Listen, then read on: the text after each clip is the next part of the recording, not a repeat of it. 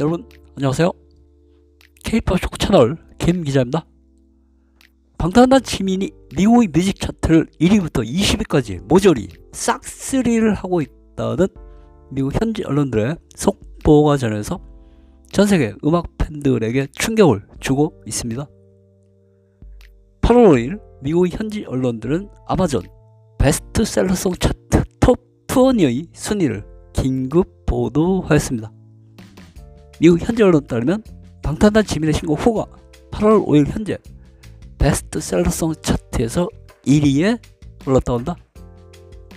이어서 역시 방탄단 지민의 후 15약의 리믹스 버전이 베스트셀러송 차트에서 2위를 기록하였다고 한다.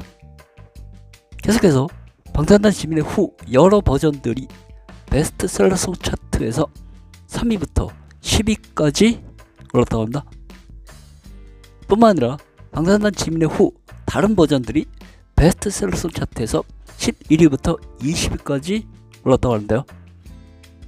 이로써 8월 5일 현재 방탄단 지민의 후 버전들이 미국의 베스트셀러송 차트를 1위부터 20위까지 모조리 싹쓸이하는 전세계 음악 역사 사상 최초의 대기록을 수립한 것이라고 합니다.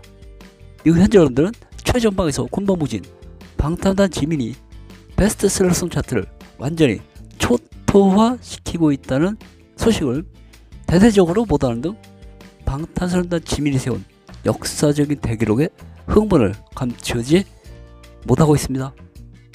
지금까지 K-팝 쇼크 채널 김 기자였습니다.